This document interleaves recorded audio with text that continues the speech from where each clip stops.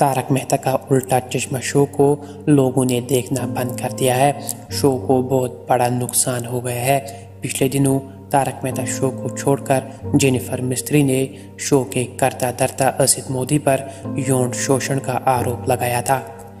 इसके बाद शो को छोड़ने वाली दूसरी एक्ट्रेस मोनिका भदौरिया और प्रिया ओझा ने भी असित मोदी और उनके शो के खिलाफ आवाज़ उठाई थी। एक के बाद एक हो रहे हमले के बीच तारक मेहता शो के लिए बहुत बुरी खबर मिली है। जो शो टीआरपी में नंबर एक पर रहता था, अब वो टीआरपी की टॉप टेन लिस्ट से भी बाहर हो गया है। तारक मेहता शो इस बार ग्यारहवीं नंबर पर चला गया है। इसका सीधा सीधा मतलब यही है कि लोगों ने इस शो को देखना बंद किया है। पिछले चौदह सालों से लोगों के दिलों पर राज करने वाले शो तारक मेहता का उल्टा चश्मा को किसकी नज़र लग गई है?